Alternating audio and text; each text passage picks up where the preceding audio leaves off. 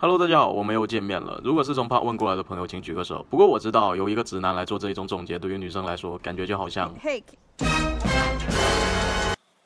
我放心，这期视频男生我也不会放过。潮流女子图鉴 Part Two，大家还记得那个工装男孩阿豪吗？对对对，就是那个裤子和衣服上面都没有 logo，还背着个超市环保袋的阿豪。你知道吗？阿豪交女朋友了，这位就是阿豪的女朋友阿丽。同样裤子和衣服上面都没有 logo，还背着个超市环保袋。工装男孩配工装女孩，Damn，这简直就是我见过最浪漫的事了。感觉就好像，尽管我们相隔几千公里，尽管我们的乡音不一样，但我们注定是要在一起。啊，反正差不多就是这个意思。还记得那一天，阿豪送了一条有很多口袋的工装裤给阿丽，从此阿丽成为了工装女孩，阿豪成为阿丽眼中的张志明。不得不说，工装男孩是我见过最变态的一群人。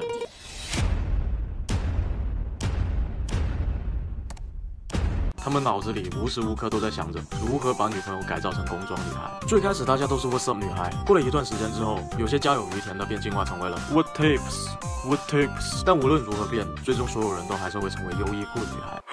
为什么我又 Q 到优衣库了？好吧，其实卡好加上各式国潮工装店就已经占据了百分之九十工装女孩的衣柜了。总结一下，Vans、Converse 加上工装裤是工装女孩的灵魂。上身一件朴素的纯色 oversize 短袖或者衬衫，有时候加多一件从来不往里面装东西的多口袋马甲，头上再顶一片鸭舌帽。真正的工装女孩不在乎什么大长腿，什么火辣身材。Fuck that shit，老娘是来搬砖的。不过不要误会，尽管工装是有公式的，但这些绝对不是工装。啥？I need that shit。I need that shit。欧美女孩是嘻哈女孩和健身女孩两姐妹的大表姐，喜爱欧美文化，要不大长腿加马甲线，要不丰乳加肥臀。不过她们都有一个共同点，她们都没有眉毛。我再说多一次，她们都没有眉毛。这东西就好像一拳超人，当我变秃了，我也变强了。如果你想变得像欧美女孩一样性感，那你就不要再在意自己的眉毛的发量了。你知道怎么画欧美风的眉毛吗？把鸿星尔克的 logo 反过来，再粘上去就可以了。简单的一件 tank top。能秀出下肢力量的紧身牛仔裤，再加一双乱七八糟的运动鞋。同时，欧美女孩很喜欢美黑，穿着比基尼搁沙滩那一座，阳光又健康。在欧美女孩眼里，白白嫩嫩的东亚萌妹就像还没发育，裹得严严实实的工装女孩又太过禁欲。她们追求的是女性对自我身材的自信和自我态度表达的自由。因此，欧美女孩通常都自带强大的气场、夸张的妆容、清凉的打扮。每个人身边都会有一两个欧美女孩，而在国内主流审美下，她们又会显得有那么一点与众不同，甚至会受到身边人的议论。呃，所以接下来你是不是觉得我要说，希望？大众能把思想进步一下，不要太封建。你妈的，人家根本看不到，好吧？甚至你在微博上面议论也没有关系，因为欧美女孩通常都不怎么玩微博，她们都在 ins 上，所以每次打开 ins，我都会由衷的感叹一句：Damn，太好看了吧！你不是欺负老实人吗？第三个复古女孩，为了应景一点，我先把 BGM 换一下。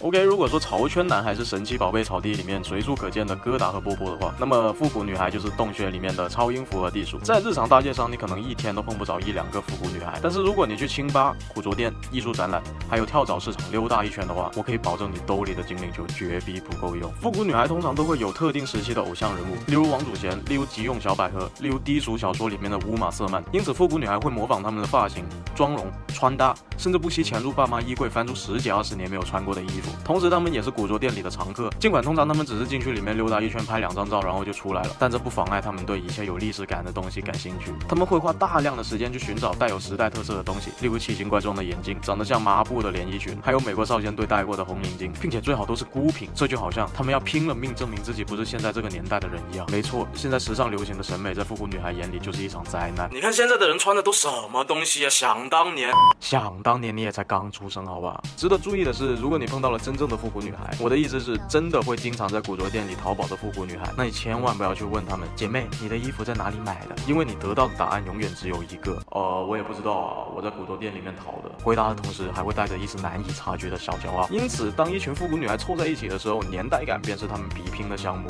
我这款九十年代的，我这款七十年代的，我这件刚出土。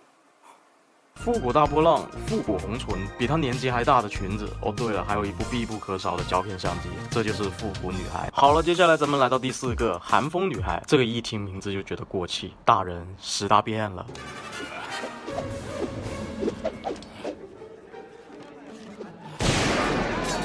让我们做一个暴风兵和寒风女孩的对比。同样极端公式化的穿搭，都喜欢简单的颜色搭配，并且大部分脸都长一个样。星球大战前传，寒风女孩的进攻。韩式大衣、高领毛衣、白色长裤。寒风女孩在早几年数量暴涨的原因在于韩剧的火热和穿搭的高强度可复制性，不用过于讲究面料的质感和简约的设计，使得成为一名合格寒风女孩的成本降到了最低。跟欧美女孩不同的是，欧美女孩不一定去过欧美，但韩风女孩一定去过韩国，去吃啤酒炸鸡，去逛街，去看偶像男孩，并且更可怕的是，他们还真的想泡到偶像男孩。身高一米八，白 T 塞进裤子里，加一件纯色衬衫，窈窕淑女的身边只能站着一个偶像男孩。不过就像民谣转嘻哈一样，现在风向变了，大部分的韩风女孩都已经转型成为了优衣库女孩。日本人这方面比较有经验，因此剩下小部分死守阵地的韩风女孩也只能每天默念中韩友谊靠日本了。好了，咱们来到最后一个包包女孩。我想包包女孩对于直男来说是最容易理解的，因为包包女孩就跟玩鞋的兄弟一样，他们的眼里只有包。球鞋男孩，优衣库纯色 T 五十九元，Gap 的牛仔裤二九九。我靠，Dior Air Jordan One。各位女生千万不要尝试去理解，因为这其实就是 BM 上衣一二九，Zara 裤子二二九。我靠，LV Petty Man。对于包包女孩来说，包的颜色、大小、款式都有固定的场合，上班用的包，买菜用的包，约会用的包。约会时突然想去拉屎，里面一定要装得进一包纸巾，但又不能被对方发现里面有一包纸巾的包。Something like this。这他妈连手机都放不下。除了新款包包以外，包包女孩也十分热衷于到各小古着店里面淘一些中古包，像 Nell，Fendi 许多二手包价格也都只需要两千到五千元。不过无论如何，我还是要说，包包女孩比球鞋男孩要好的一点是，他们买包之后是真的会背出去的，哪怕就一次。而球鞋男孩子更像花几千块钱把鞋子买回来，放进一个透明的盒子里面当背景板。大哥，你想要背景板的话，我教你啊，你把球鞋打印出来贴在盒子上面不就得了吗？我知道，我知道，其实球鞋和包还有手表，在某种程度上都是人的一张名片。透过这些东西，我们能看出一个人的性格和爱好。有一个自己热爱的东西，并且持之一横也是一件非常值得开心的事，但前提就是不要过度消费。好了，就这么多，希望这期视频也能给各位带来欢乐。如果想看下一期的话，记得一键三连加转发。那么我是炒蛋，我们下一期视频再见，peace。